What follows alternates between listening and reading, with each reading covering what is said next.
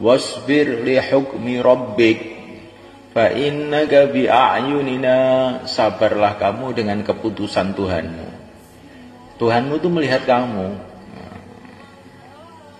kalau orang itu merasa bahwa kesulitan-kesulitan ini dari Allah hakikatnya untuk menguji kita. Allah melihat kita. Kamu dalam kesulitan, kamu dimusuhi orang, Allah tuh melihat kamu.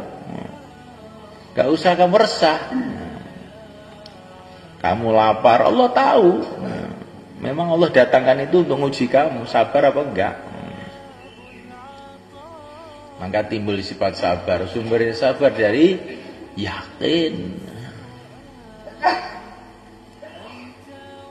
Kalau orang itu yakin, kalau Allah melihat dia, mendengar dia, dia sholat itu menghadap kepada Allah yang maha agung, yang maha suci, pasti khusyuk.